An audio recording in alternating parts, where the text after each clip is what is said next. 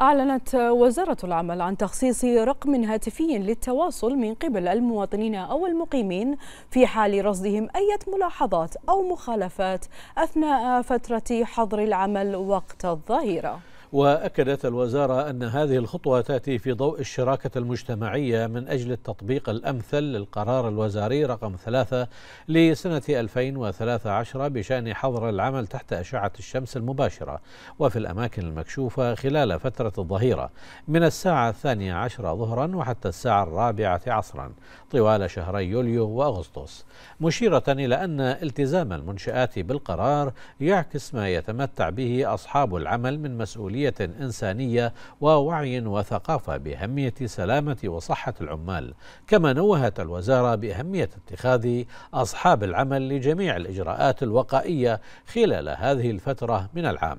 وذلك من أجل حماية العمال من التعرض لمخاطر الإجهاد الحراري وضربات الشمس ومختلف أمراض الصيف والحد من الحوادث المهنية والإصابات الناتجة عنها.